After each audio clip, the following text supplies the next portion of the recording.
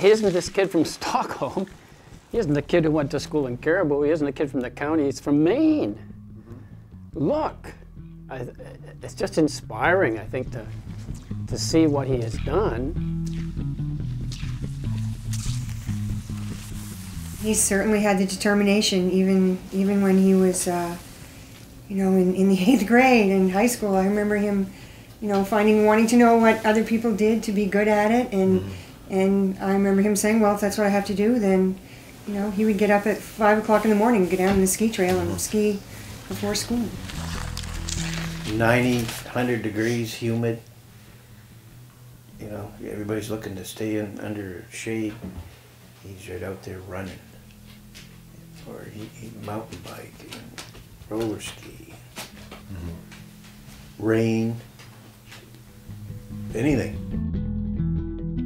He, he would, we would use him as a role model. Mm-hmm. Okay, I want you to go out and ski with Russell, and I want you to see how he does V1 left and V1 right or I want you to see how he does double poling.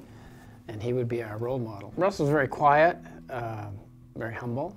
It wasn't like, you know, here's my Maine Winter Sports emblem on my shirt. Mm-hmm. It is very unassuming, and uh, he worked hard both to be a good skier and to become more, much more competent biathlete.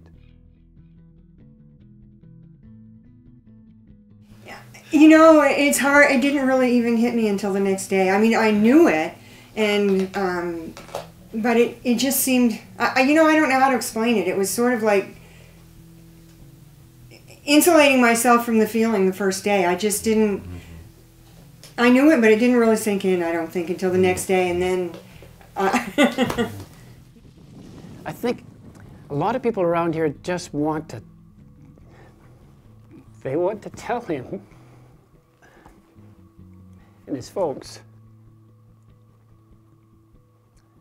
how proud we are of his accomplishments, his achievements.